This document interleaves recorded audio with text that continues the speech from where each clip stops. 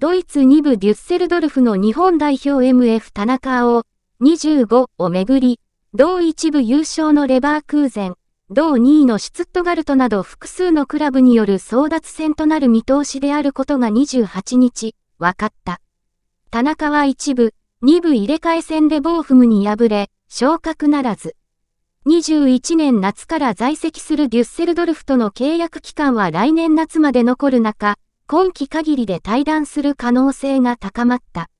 関係者によると、ドイツ一部で上位2クラブに加え、ボルシア MG やマインツ、さらにイングランドプレミアリーグのエバートン、同2部リーズなどが獲得の打診や興味を示しているという。